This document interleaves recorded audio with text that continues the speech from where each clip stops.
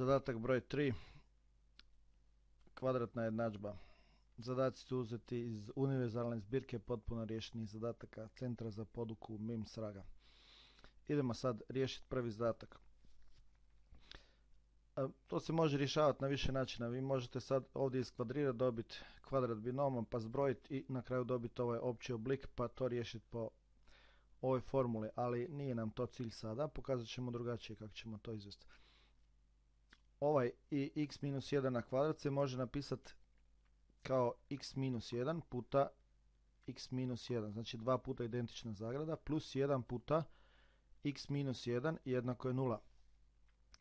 Rastavio sam na faktore ovaj prvi član i sad podvučemo ono što nam je zajedničko, a to je ovaj x minus 1 i njega izlučimo vani. Znači to je x minus 1 ide vani i u drugoj zagradi nam ostane x minus 1 to je taj, plus ovaj 1 ovdje.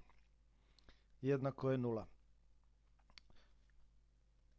Sad sredimo stanje unutar ove druge zagrade, pa je to imamo x minus 1 puta x i minus 1 i plus 1 se krate, pa nam je ostalo samo puta x jednako je 0. Znači svaki od tih faktora može biti jednak 0, pa imamo x minus 1 je 0, x je 1 i x je 0. Možemo reći da je ovo prvo rješenje, ovo drugo rješenje. Idemo sada u šesti zadatak iz, šesti podzadatak iz trećeg zadatka. Imamo x minus 3 u zagred na kvadrat minus x plus 3.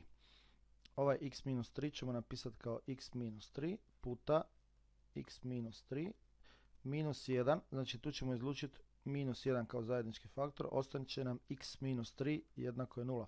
Kad izlučimo minus, minus 1 puta x je minus 1, a ne minus, tu mora biti minus, jel? jer minus 1 puta minus 3 je plus 3. I sada možemo podvući zajednički faktor, jel? znači to je x minus 3, ili ćemo ga ovak žutom bojom istaknuti, to je sve jedno. I izlučimo ga vani, znači ide vani, ide ispred, ide zajednički faktor, ide napred, x minus 3 i ostaje x minus 3 minus 1. Dakle, sve što nisam podvukao ide u drugu zagradu. I imamo x minus 3 puta x minus 4 jednako je 0.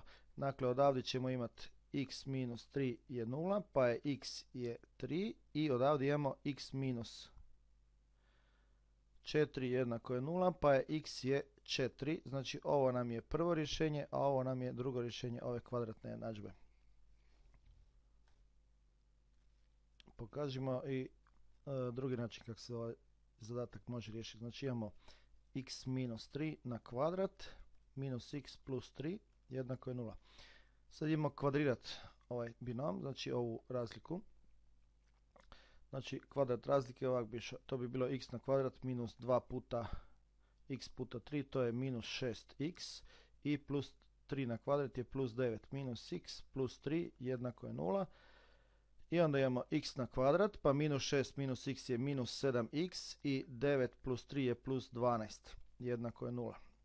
Onda bi po ovoj jednadžbi dalje to bilo odredimo ovdje a je 1. Kad ništa ne piše ispred x, to znači x na kvadrat, to je 1x na kvadrat.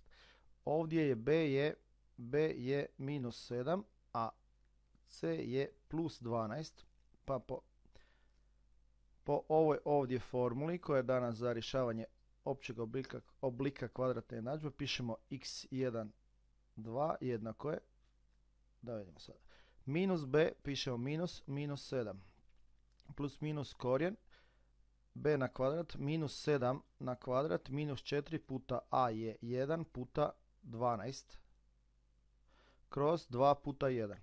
Dalje imamo x1, 2, jednako je minus i minus daju plus, znači to je plus 7, plus minus korijen, minus na kvadrat je plus, znači 49 minus 48 kroz 2. Imamo dalje x1, 2 jednako je 7 plus minus korijen iz 1, to je 1 kroz 2. Znači x1 će biti 7 plus 1 kroz 2, to je 8 kroz 2 je 4. A x2 će biti 7 minus 1 kroz 2, to je 6 kroz 2 je x2 je 3. I vidimo da smo dobili rješenja x je 4 i x je 3 isto koji ovdje.